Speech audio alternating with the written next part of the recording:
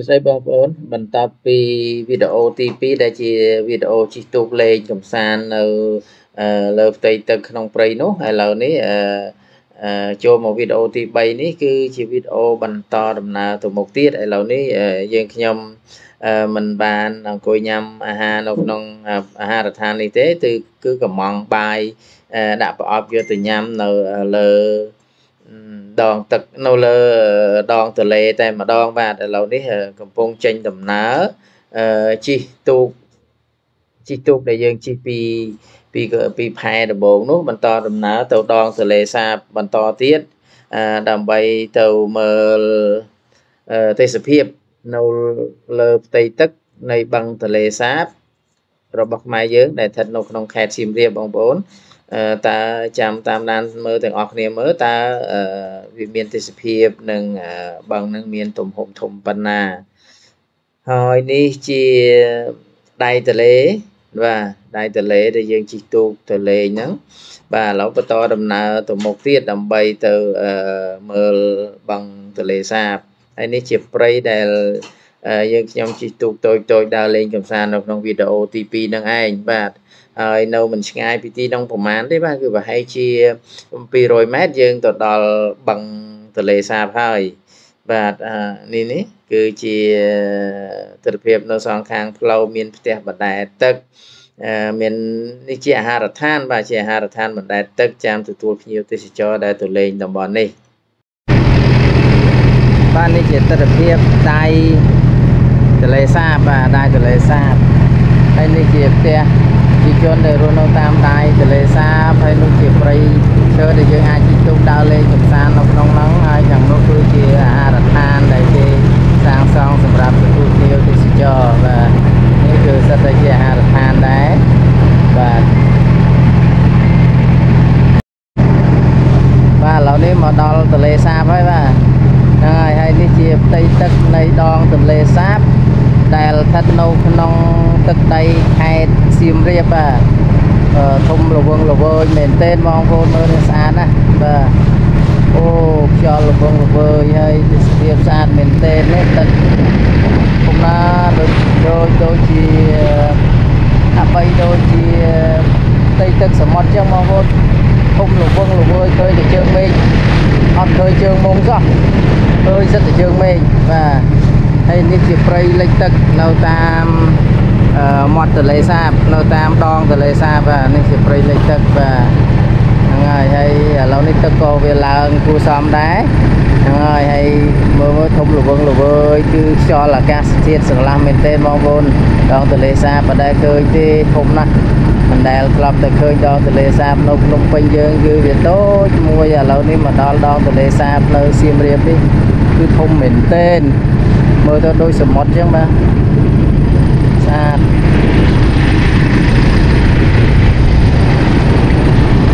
ហើយទៅនោះបាទរវឹងរវើយ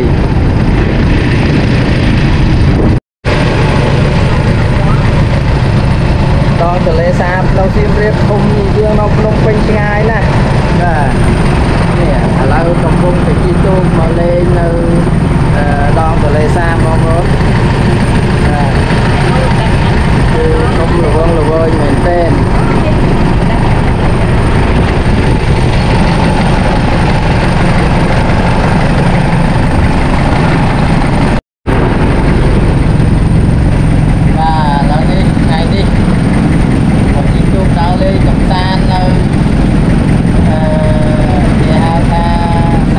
ធម្មជាតិពុកផ្លុកដែលស្ថិតនៅក្នុងស្រុក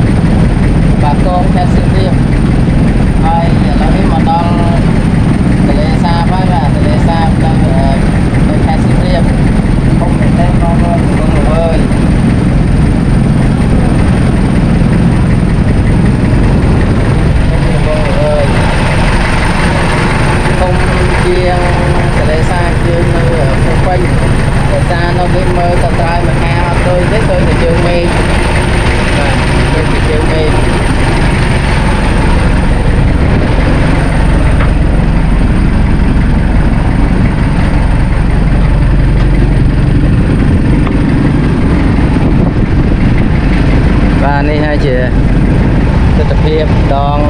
ទន្លេសាបដែលស្ថិតនៅក្នុងទឹកដីខេត្តសៀមរាប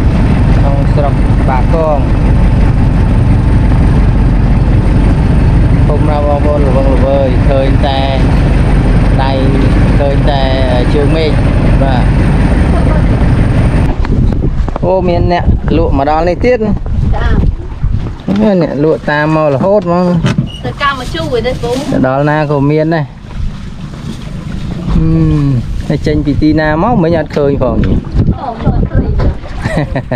អូរងចាំនៅមាត់ព្រៃហ្នឹងមកល្អដែរលក់តាមហឹមផ្លូវទឹកញៀវទៅដល់ណាវដល់ហ្នឹងដែរ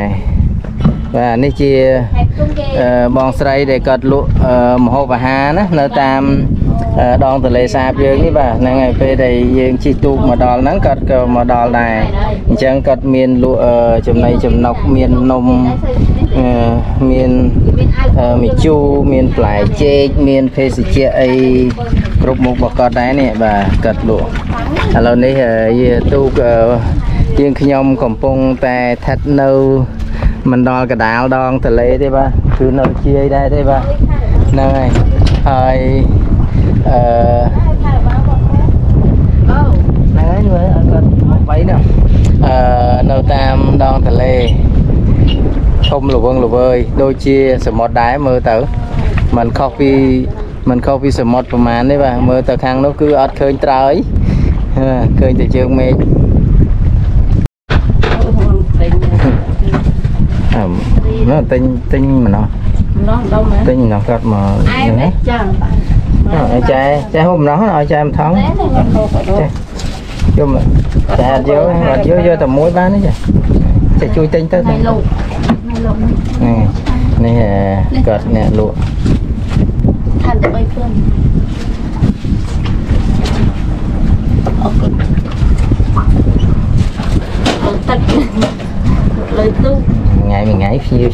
ខ្ញុំហូបអត់ចេះយំចែអត់យកអត់យកយកតែមួយបានទេចាចេះជួយទិញទៅណៃលោកណៃលោកនេះនេះអឺគាត់អ្នកលក់ខានតែ3ព្រឹងអរគុណអត់ទឹកលើទូថ្ងៃមួយថ្ងៃភ្ញៀវច្រើនណាស់ហ្នឹងមកសុំលអក់នតពីរថ្ងៃ3ថ្ងៃទេទេពូចឹងនឹងអាមើលគឺថាអុយដល់ទៅក្នុងកលេផងគេបើទៅភ្នំកលេសណាអូខេមកបន្តបន្តនឹងបាច់អូបី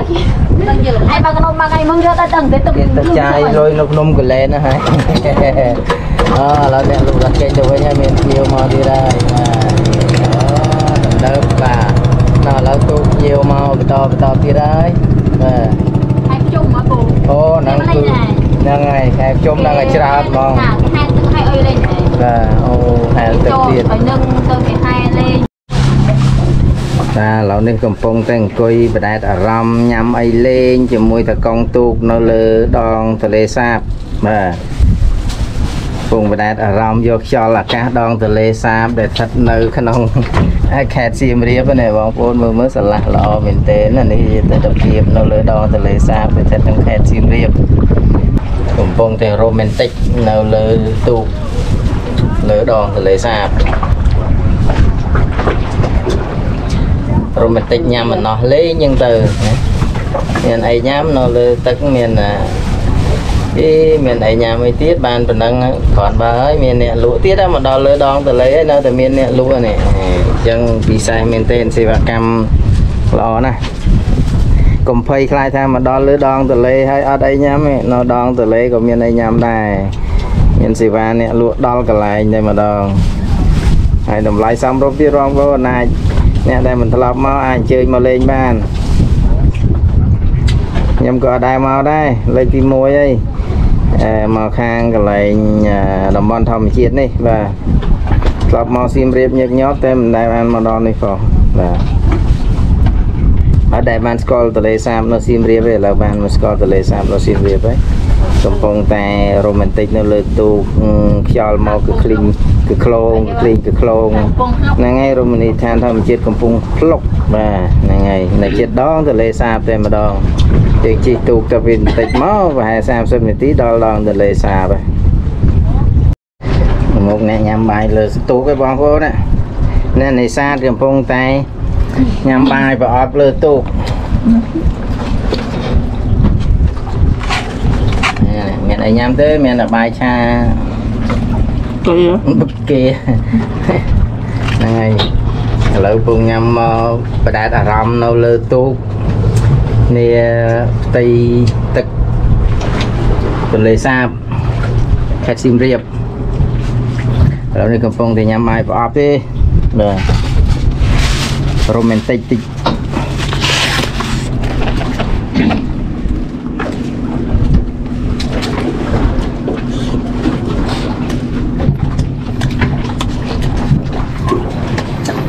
ដល់ម៉ោងបាយហើយ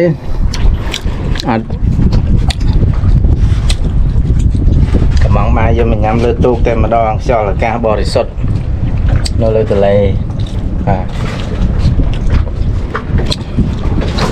បងប្អូនណាអបសុកអីអាចកំងបាយឆាមួយចានមកអង្គុយញ៉ាំលើដងទន្លេសាបលេងបទូអារម្មណ៍បាននេះ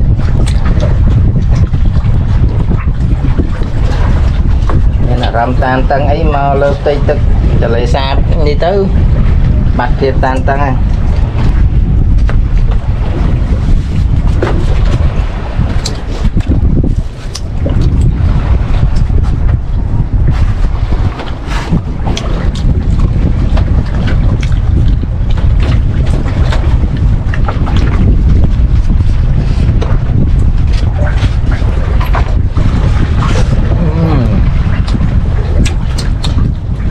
ខ្លងឃ្លីងខ្លងទៅដូចយ៉ាងចោះបាយដែរនេះ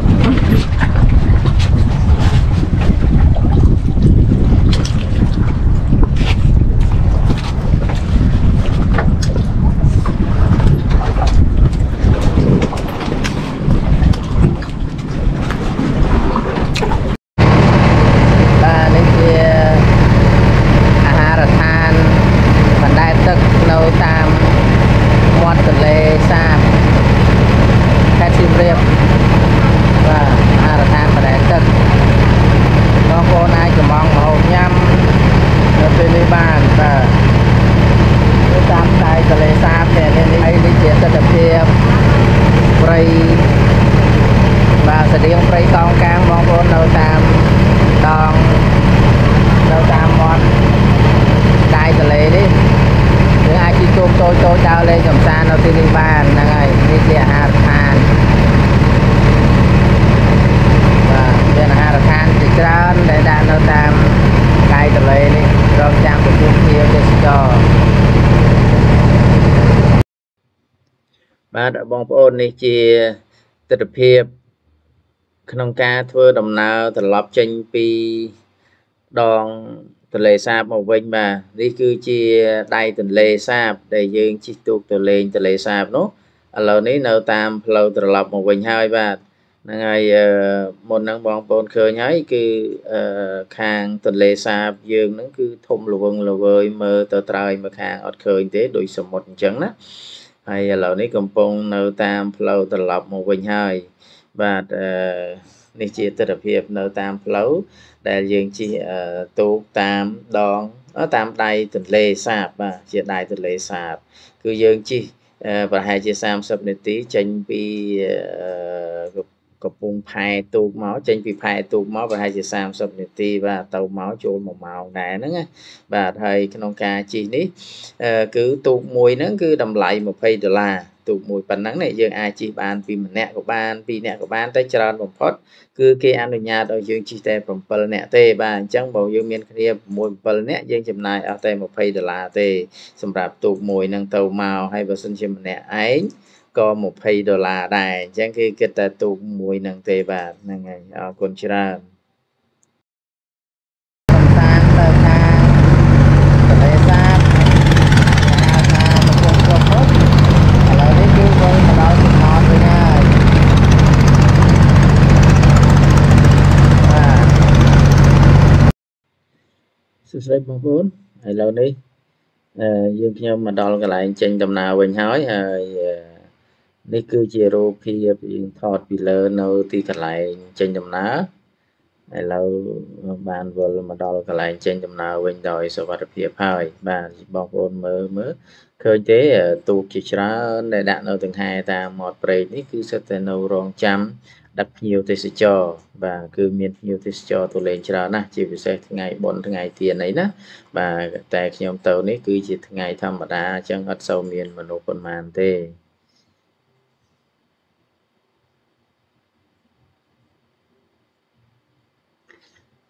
ឃើញបងប្អូនទូកច្រើនមែនទែនសិតតែទូកដាក់ចាំដឹកភ្ញៀវទេសចរទាំងអស់ទូកនេះគឺអត់មានទូកនេសាទទេសុទ្ធតែជាទូកដឹកភ្ញៀវទៅលេងតំបន់ភូមិលិចទឹកនោះឯងបាទបងប្អូនមើលទិដ្ឋភាពខាងមុខនោះខាងមុខនោះគឺជាផ្លូវដែលយើងចូលមកគឺជាផ្លូវដីហើយឆ្លងកាត់បឹងតូចមួយនៅខាងមុខនោះគឺជាសសហ្នឹងគឺជាបឹងតូចមួយដែលយើងឆ្លងកាត់បឹងហ្នឹងមកបាទគឺវាលតែម្ដង បាទជិះប្រហែលជា30នាទីទៅដល់បឹងទលេសាបចាត់ឡើងនេះអូនេះបាទនេះឡើងចំណតចំណតនេះកន្លែងយើងចាប់ផ្ដើមកន្លែងយើងចេញដំណើរឥឡូវមកដល់កន្លែងចេញដំណើរវិញហើយបាទនេះទូច្រើនណាស់នៅចាំទទួលដល់ភ្ញៀវអូឡើងតែទៅមានខែដែរចាមានខែដែរអត់ទេ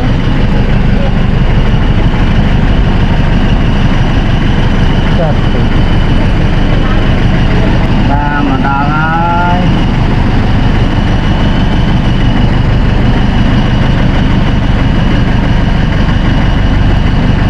ចា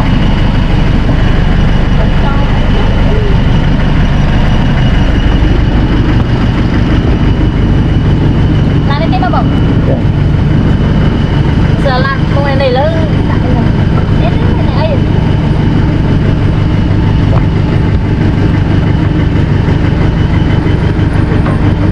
អូខេ អូតែមានកំចដានោះ បាទអរគុណច្រើនចេះចាអីយ៉ាអីហ្នឹងអីអូយ៉ាតង់ទីជុកកិនទេ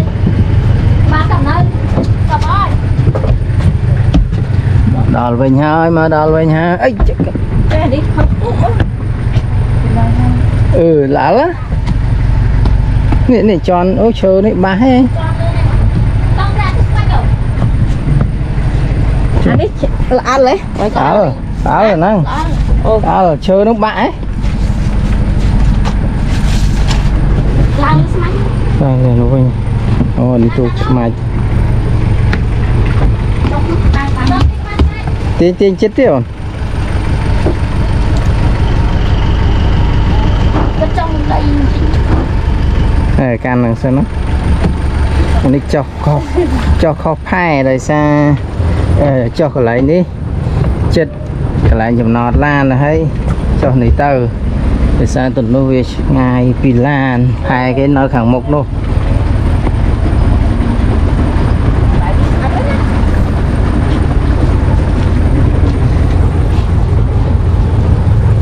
អឺអូនេះនៅស្អាតម្ល៉េះគេដាក់ទាំងអស់ហើយអូស្អាតហើយម កគោក៏ហេនេះណាមើលស្លឹកម៉ានមើលហ្នឹងអូយហើយហើយខរត់ដឹងខ្លួនហ៎ឥឡូវនេះចុះពេលចុះទៅមានម្នាក់លួចថតបានទៀតហ្នឹងហើយនេះឥឡូវពងយកមកលក់ឲ្យមើលនេះបង្ហាញទៅមើលលួចថតប្រុសស្អាតស្អាតនេះនេះនេះនេះអូយញោមសោះទៀតអ្នកលួចថតលក់ឲ្យទៀតណា ដឹងទៀតដឹងចំណាំបានទៀតមកដល់ចំប្លង់ហ្នឹងហ្មងសួស្តីបងប្អូននេះជាវីដេអូទី3នៃដំណើរកំសាន្តទៅរមណីយដ្ឋានធម្មជាតិកំពង់ភ្លុកបាទវីដេអូទី3ដោយដែលខ្ញុំបានសន្យាថានៅមានវីដេអូបន្តបន្តទៀតដោយសារវីដេអូនីមួយៗវារាងវែងបន្តិច ហើយខ្ញុំចង់បង្ហាញពីទស្សនភាពលម្អិតដល់បងប្អូនអញ្ចឹងហើយបានមានដល់ទៅភាគទី3នេះបងប្អូនណាហ្នឹងហើយដើម្បីបងប្អូនបើសិនជាបងប្អូនមិនបានឃើញភាគទី1ទី2ទេបងប្អូនមើលទៅអឺមើលទៅឃើញហើយនៅមានភាគទី1ទី2ទៀតអានេះគឺជាភាគទី3បាទហើយក៏សូមអរគុណចំពោះបងប្អូនដែលបានតាមដានវីដេអូនេះបាទហើយអឺបើបងប្អូនដែលមិនទាន់បាន Subscribe Channel នេះសូមបងប្អូន ជួយ Subscribe Channel នេះម្នាក់មួយផងដើម្បីទទួលបានព័ត៌មានអឺទទួលបានវីដេអូថ្មីថ្មីៗទៀតអំពីដំណើរកំសាន្តទៅកន្លែងផ្សេងផ្សេងៗទៀតហើយអឺបងប្អូនអាច comment ជាមតិយោបល់នៅក្នុងវីដេអូនេះបើសិនជាបងប្អូនមានមតិយោបល់យ៉ាងណា សូមជួយ comment ប្រាប់នៅក្នុងវីដេអូនេះផងបាទសូមអរគុណច្រើន សូមអភ័យទោសចំពោះការខុសឆ្គងនៃពាក្យសម្ដីណាមួយ បាទសូមអរគុណច្រើន